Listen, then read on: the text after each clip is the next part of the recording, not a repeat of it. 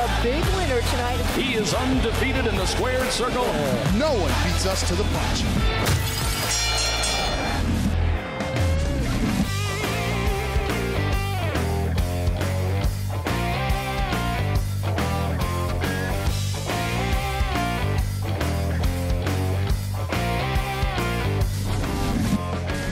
Hey there, Bare Knuckle News fans. I big winner tonight, Stephen Tomahawk Townsel. Steve, you have been waiting for this fight for a very long time. How do you feel tonight, sir? I feel amazing. Uh, it's been a long time coming. Uh, I'm glad we got it in. We're done with it. It's on to the next. How did it feel for you to have to wait so long? Tell the fans about how many times this fight was scheduled last year in 2022. So we've actually signed this contract four times. Two times were because of the issues with him. The third one was because the Delray Beach card. This card was the last and final card. I mean, it's been a long road, um, but finally we're here, and uh, I took care of business. How does that affect you mentally as a fighter when the fights keep on getting postponed? Um, So you keep moving, you keep working. The thing is, it slows down my progress, man. We get paid by fight. The payment isn't the money; it's the wins per the fight, so I can move forward into my career. Um, I feel like there's a big fight coming up soon uh, with Houston Alexander and, and Jeremy Smith. I feel like that was my fight, but I'm here. I took care of this one, and we're on to the next. Did Sarro do anything that surprised you in the fight tonight? He showed up. but no, on the real, listen, man, Sarro is actually a really good guy. He's a fighter. It takes a lot to step in here and do what we do. Don't think that it's something easy. Not anybody can do it, man. Nothing but absolute respect goes out to him. Um, you know, I couldn't have did this without him. So It looked like he might have sustained a broken jaw at the end of the fight. You were in there. Do you know what happened? I broke his jaw. like that's that's the gist of it. I mean, that's the sport that we're in. I caught him with a clean left. Um, I was setting it up. I switched over to orthodox on him one time, kind of confused him a little bit. Switched back to southpaw, stepped to the side, caught him with that big uh, left. I feel like your step in left hand was the key to your success. I mean, you are a southpaw.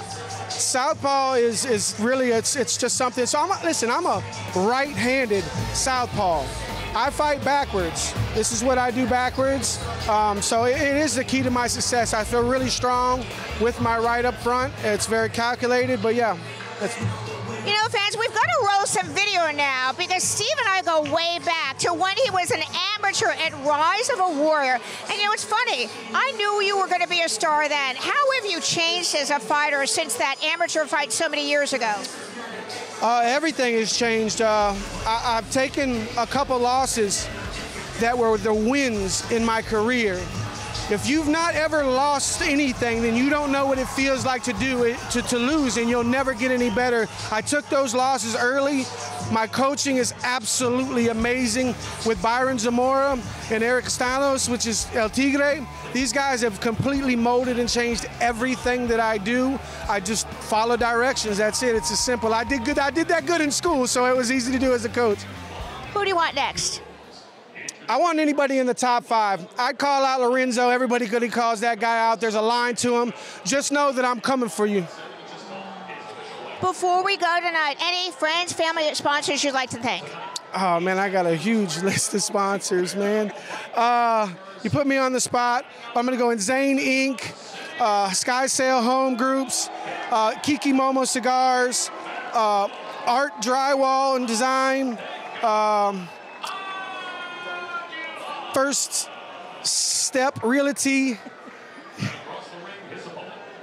Ground Sports. Condemned Labs. Condemned Labs, you got, they have powered me through this entire thing. EBM Media. Check this out. Here you go. Hold on. Get, butt shot. Make sure you get a little bit of everything, guys. Ooh, baby, looking good Uh, also, my daughters, Isabella, Stevie, and Cheyenne. Daddy loves you. Don't ever forget that.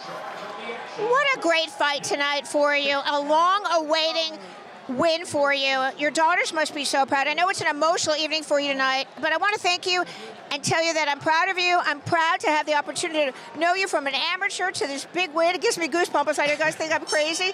And I want to wish you good luck, and I can't wait to see you again in the squared circle. Don't make me cry. Don't make me cry. I'm gonna cry. For Bare Knuckle News, I'm Susan Cingari, and this is, Steve Tomahawk Townsel. and I mean, remember this. And remember, Steve, no one, no one beats us to the punch.